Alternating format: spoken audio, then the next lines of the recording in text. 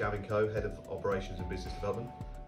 I think predominantly a lot of our, the other 91 foundations are similar to us, we have a lot of staff who are sports coaching qualified, perhaps got, haven't got enough business and theory um, behind them in their roles that we would like. So what we've tried to do is consider the levels within our organisation and look at the courses that are appropriate to support them on their journeys.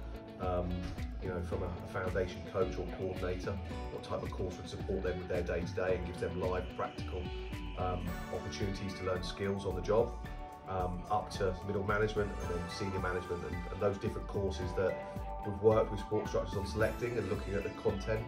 Um, that's helped us design that um, and helped us understand kind of where our business is and, and how that needs to work.